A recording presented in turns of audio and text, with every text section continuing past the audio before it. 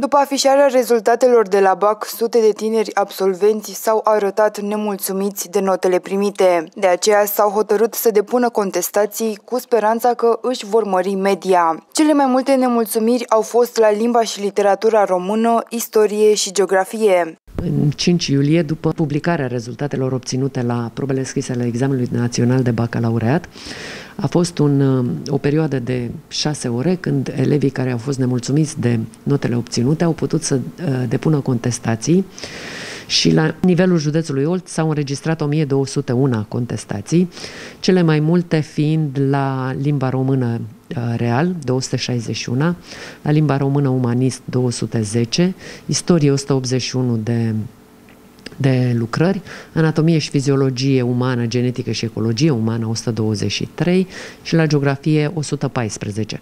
Au fost depuse contestații și la celelalte discipline de uh, bacalaureat, însă numărul acestora a fost mult mai mic decât cele pe care vi le-am enumerat mai sus. Și elevii de la Colegiul Național Ion Minulescu au depus contestații, 150 la număr. Directorul școlii este mulțumit de rezultate, mai ales că tinerii vin după un an întreg de ore online.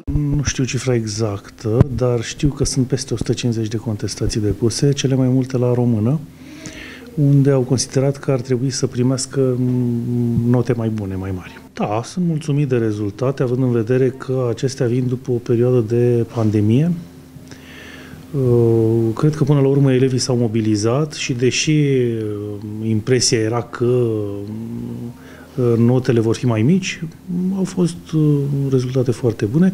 Ce e drept fără medii de 10? Să vedem după contestații. Da, cu siguranță. Cred că vor lua note mai bune, cei mai mulți dintre cei care au contestat notele și cred că ne vom ridica peste procentul de 90,7% cât avem acum. Rezultatele în urma contestațiilor de la BAC vor apărea vineri 9 iulie. Până atunci, elevii așteaptă cu sufletul la gură și cu speranța că notele finale vor fi mult mai bune.